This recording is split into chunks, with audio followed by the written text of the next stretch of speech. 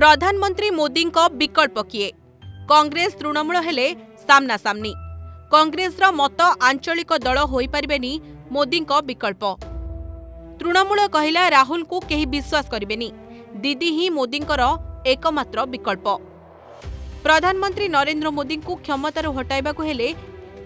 ଦେଶବାସୀଙ୍କୁ ବିକଳ୍ପ ଦେବାକୁ ପଡ଼ିବ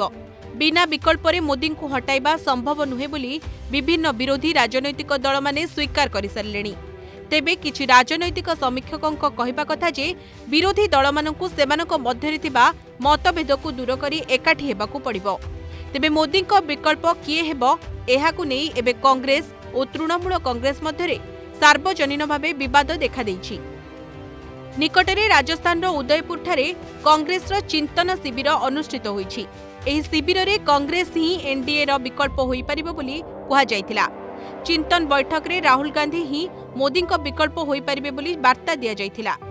চিন্তন শিবিরের উদ্বোধন দিয়ে রাহুল গান্ধী কে যে যদি বিজেপি কু কেউ পার্টি হরাই পারিব তেবে সেই পার্টি হচ্ছে কংগ্রেস কোণী আঞ্চলিক দল জাতীয় স্তরের বিজেপি কু হরাই পারিব না কোণী আঞ্চলিক দল পাখে ଏନ୍ଡିଏକୁ ହରାଇବାର ଶକ୍ତି ନାହିଁ କିନ୍ତୁ ଉଦୟପୁର ଚିନ୍ତନ ବୈଠକରେ କଂଗ୍ରେସ ଓ ରାହୁଲ ଗାନ୍ଧୀଙ୍କ ବକ୍ତବ୍ୟକୁ ତୃଣମୂଳ କଂଗ୍ରେସ ହଜମ କରିପାରି ନାହିଁ କୋଲକାତାରୁ ପ୍ରକାଶିତ ତୃଣମୂଳ କଂଗ୍ରେସର ମୁଖପାତ୍ର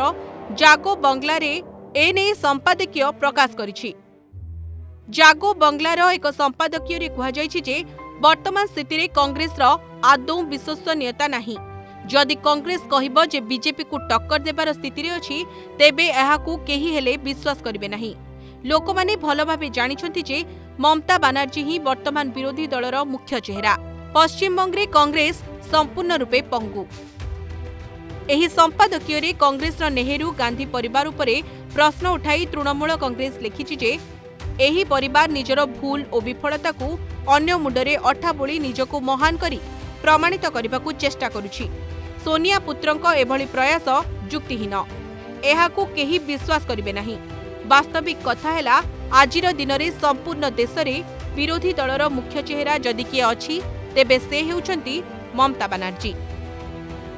तृणमूल कङ्ग्रेस किदिन त ममता बानर्जीको प्रधानमन्त्री मोदीको विकल्प भावे सारा देशले प्रोजेक्ट गरेको लगातार चेष्टा गरमले तृणमूल कङ्ग्रेस ନେସନ୍ ୱାନ୍ସ ମମତାଦି ନାମରେ ଏକ କ୍ୟାମ୍ପେନ୍ ଓ ୱେବ୍ସାଇଟ୍ ଲଞ୍ଚ କରିଛି ଆଗାମୀ ଦୁଇ ହଜାର ଚବିଶରେ ମମତା ବାନାର୍ଜୀଙ୍କୁ ମୋଦିଙ୍କ ବିରୋଧରେ ବିରୋଧୀ ଦଳର ମୁଖ୍ୟ ଚେହେରା ବୋଲି ପ୍ରୋଜେକ୍ଟ କରିବାକୁ ଏହି ଅଭିଯାନ ଆରମ୍ଭ କରାଯାଇଛି ବନ୍ଦନା ରାୟଙ୍କ ଇନ୍ପୁଟ୍ ସହ ବ୍ୟୁରୋ ରିପୋର୍ଟ ଅର୍ଗସ୍ ନ୍ୟୁଜ୍